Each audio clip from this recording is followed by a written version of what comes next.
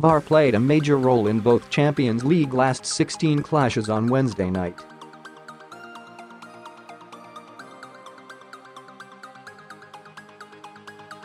Firstly, at the Wanda Metropolitano Stadium, referee Felix Zwayer initially gave a penalty to Atletico Madrid when Diego Costa was brought down by Juventus's Mattia De Sciglio.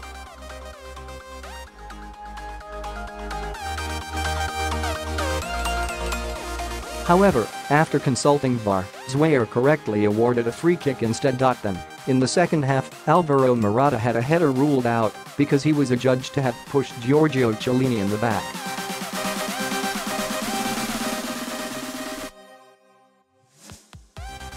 That was an example of the technology being used to perfection. However, over in Jules Gelsenkirchen, VAR wasn't used quite as well.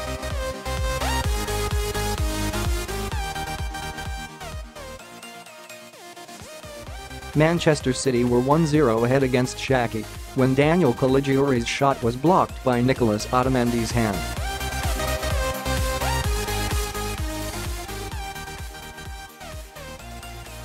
It took a ridiculous 4 minutes and 26 seconds for the officials to finally decide that Schalke should be awarded a penalty as a result.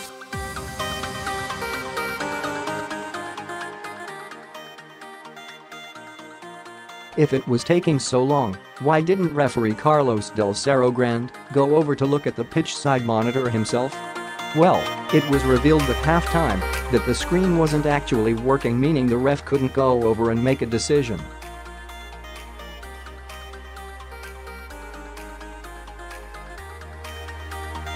Wow. How ridiculous is that? In the end, many believe that the correct decision was eventually made and Nabil Bentaleb equalized for Schalke.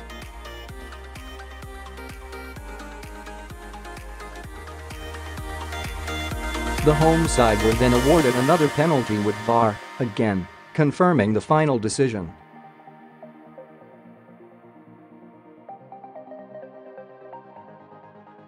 Bentaleb stepped up once again and put Schalke 2-1 ahead at before the break. Things got worse for City in the second half when Otamendi picked up a second yellow card and was dismissed.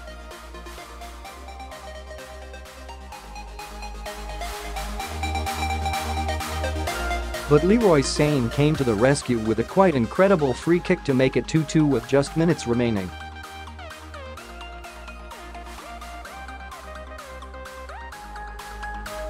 And then Raheem Sterling completed the comeback with a 90th minute winner. An OT bad with 10 men.